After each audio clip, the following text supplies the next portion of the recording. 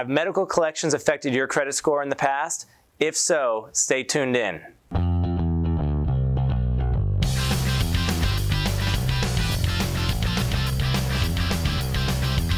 On today's Shanne Scoop, we have big news when it comes to medical collections and their effect on your credit scores. Starting back on July 1st, 2022, any medical debt that has been paid off is now supposed to be removed from all three credit bureaus like it never happened. And that doesn't mean you have to pay it in full either.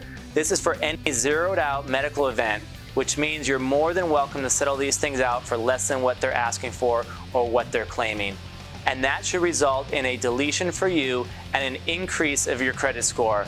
Also, in the past, they only had to give you six months before the medical debt went to the collections company and it was reported to the bureaus.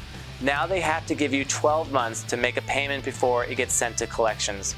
So if in the past your credit scores were driven down due to medical collections and that was stopping you from qualifying or getting the rate you really wanted, you need to take a second look now please reach out and I would be happy to help.